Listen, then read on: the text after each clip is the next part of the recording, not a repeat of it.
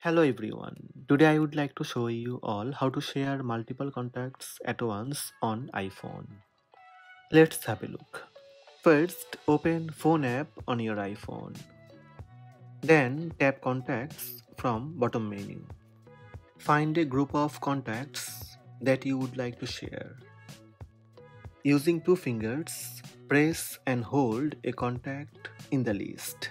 Then drag your fingers up or down to highlight contacts as a selection. Release your fingers to finish your selection.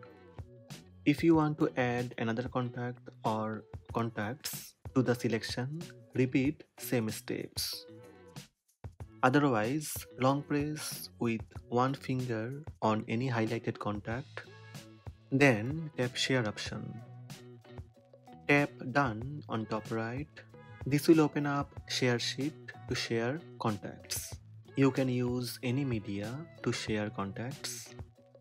Tap send on top right. Then you will see your selected multiple contacts sent.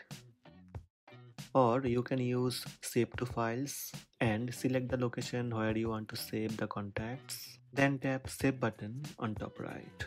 So these are the steps to share multiple contacts at once on iPhone. Hope this video help you. Please subscribe my channel by tap subscribe button. Also tap the bell icon to receive notifications about all new videos.